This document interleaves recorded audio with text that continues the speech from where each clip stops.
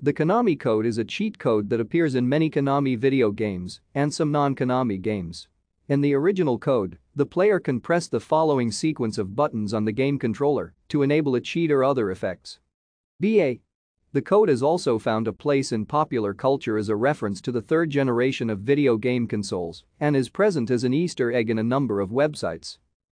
The code was first used in the 1986 release of Gradius, a scrolling shooter for the NES, and was popularized among North American players in the NES version of Contra, for which it was also dubbed both the Contra code and 30 Lives code because of its near necessity in-game. The Konami code was created by Kazuhisa Hashimoto who was developing the home port of the 1985 arcade game Gradius for the NES.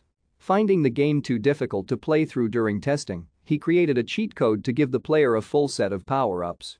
After entering the sequence using the controller, when the game was paused the player received all available power-ups. Thank you for watching. Like and subscribe if you would like to view more of our videos. Have a nice day.